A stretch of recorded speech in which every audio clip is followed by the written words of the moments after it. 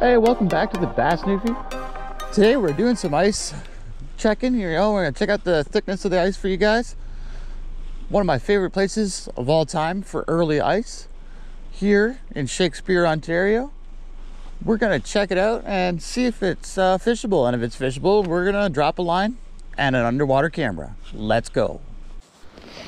So yeah, guys, I'm gonna be safe. I got myself life jacket on.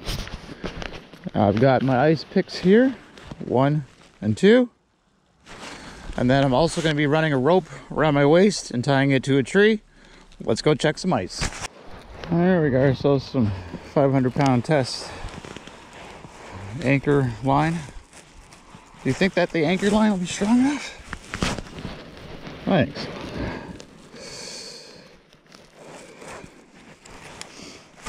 Today is Christmas Eve. It's December 24th. Happy holidays all.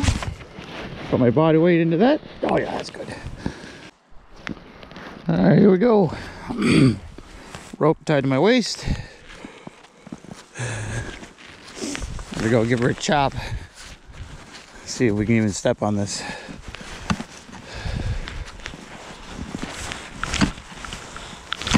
Oh man, that's not it's not safe at all.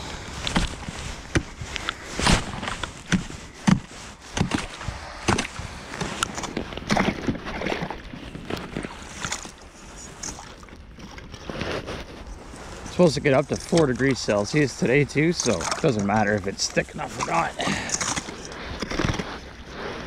Yeah, it's all ice, all bubbly. And it's like two two inches. We got two inches of ice here in southern ontario at this small lake so stay safe this christmas stay safe this holiday. We're probably not even going to step on this. I'm not even going out there. All right guys. Thanks for tuning in. And uh, we'll probably have some safe ice here and oh i don't know probably two weeks maybe mid-january this fluctuating weather has probably got something to do with it. So yeah, the next couple days not looking too good. Uh, tomorrow, six degrees tomorrow for Christmas Day, so the ice is going to be even more thin, and we got some rain. And yeah, the next week or so, uh, we got plus temperatures during the day and minus two to minus four at night. So we're going to build some ice at night, but it's going to be pretty soft, crappy ice considering we're going to get some more snow on top to insulate this ice.